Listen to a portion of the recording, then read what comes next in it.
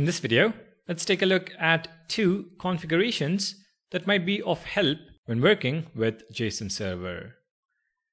The first one is specifying the port number. By default, JSON Server runs on port 3000. But you might already have a different app running on that port. For example, a React application. In such cases, we can specify the port option when starting JSON Server. In package.json, in the serve JSON script, we add dash dash port 4000. If we now run yarn serve JSON, you can see our data being served on port 4000. The second configuration that might come in handy is the custom route configuration. At the moment, we have a specific route to access a list of products or an individual product. Your company might have a specific naming convention when it comes to APIs.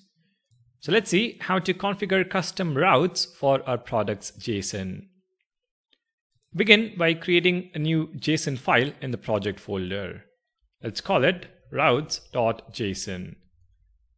Within the file, we specify a simple JSON which contains custom route names and the mapping to routes from JSON server. For example, we can have a mapping from slash API slash v1 slash star to slash dollar one.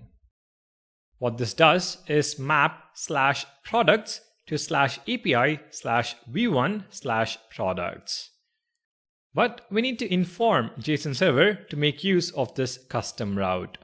So in package.json, we specify another option, dash dash routes, routes.json.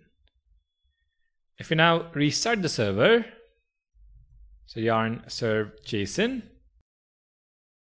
and visit localhost port 4000 slash API slash v1 slash products, we get back the list of products. This, of course, is in addition to just slash products. So if your team or project or the company has a specific naming convention for API routes, create custom routes and map them to the JSON server routes. The routes can be pretty much any valid route you would want to have for your API. For example, I can specify a category filter as part of the route itself. So slash products slash colon category would have the equivalent of slash products with a category query parameter for filter. So category is equal to the passed in category. Restart the server. So yarn serve JSON. And in the browser, we can navigate to slash products slash electronics and we get all products whose category is electronics. As you can see, JSON Server is pretty flexible when it comes to naming the endpoints. Alright, we have just one more video to go, so I'll see you in the next one.